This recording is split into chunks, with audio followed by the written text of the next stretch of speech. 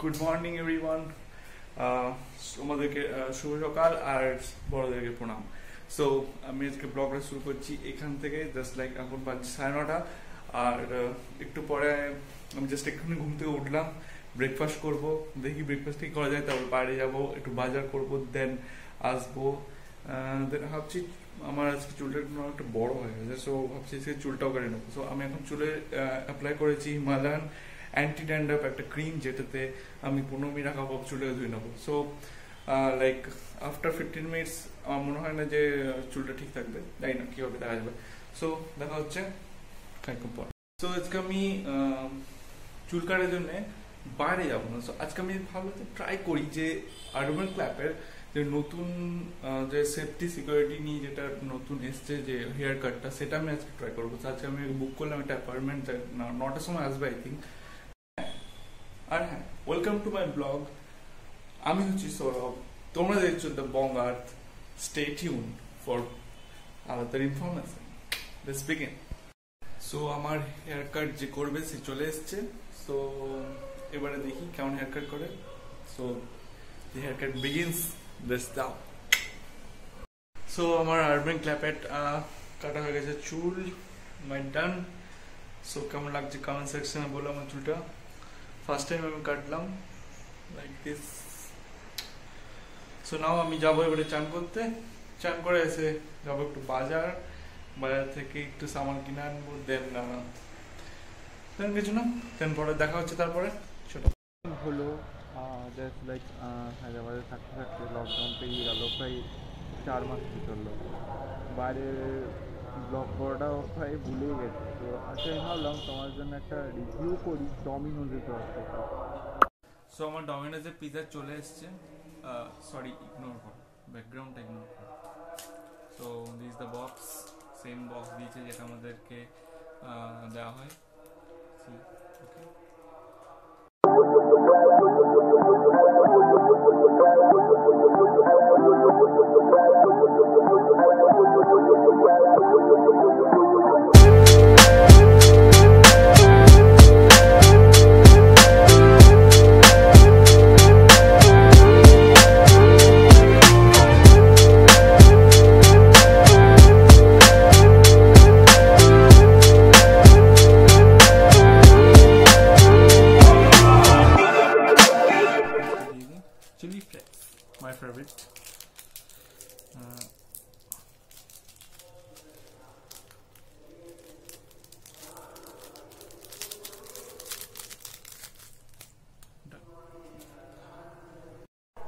first bite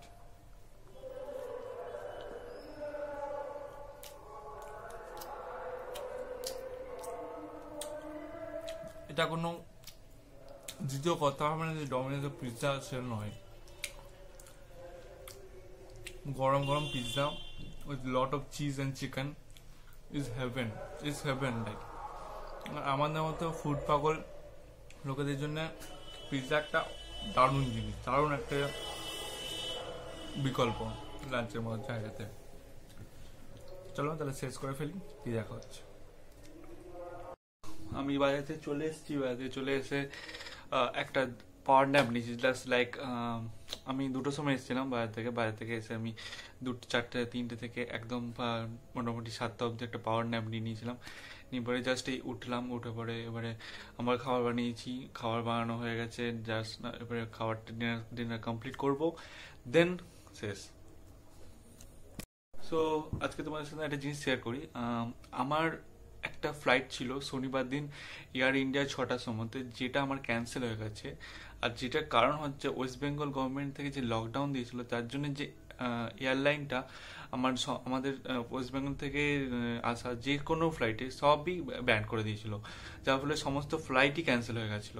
so it's like আমার এটা fifth number flight যেটা আমার ক্যান্সেল হচ্ছে এবং এর- আগে আমার আরও কত ফ্লাইট ক্যান্সেল হয়ে গেছে অলরেডি কিন্তু একটারও রিফান্ড এখনও ফেরত পাইনি। ডিজিসিএ থেকে বলা হয়েছিল যে রিফান্ড দেওয়া হবে এয়ার ইন্ডিয়া থেকে বলা হয়েছিল রিফান্ড দেওয়া হবে, বা তার বদলে আমি ওই পিএনআর দিয়ে আমি অন্য একটা ফ্লাইট বুক করতে পারব, এসব কিচ্ছু ব্যবস্থা করা হয়নি জাস্ট এগুলো বেকার কথা বলা হয়েছিল।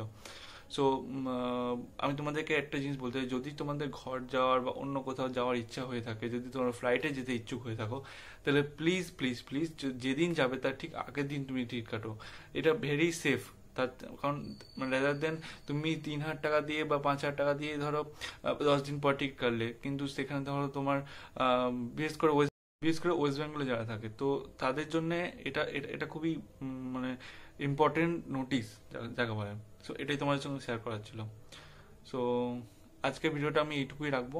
সো ভিডিওটা ভালো লাগলে প্লিজ লাইক শেয়ার সাবস্ক্রাইব করে দাও আমার চ্যানেলে ঘন্টি আইকনটা মারতে একদম ভুলবে না। আর যদি তুমি এখনও আমার ইনস্টাগ্রামে এখনও ফলো করনি please go check it out ভাই, আমার ইনস্টাগ্রামে তুমি যাবে, অনেক ধরনের ছবি দেখতে পাবে। অনেক, আমি আরও পোস্ট করি ওখানে। সো আপকামিং ভিডিও নোটিফিকেশন আমি ওখানেই দেবো। আর এইটুকুই। চলো টাটা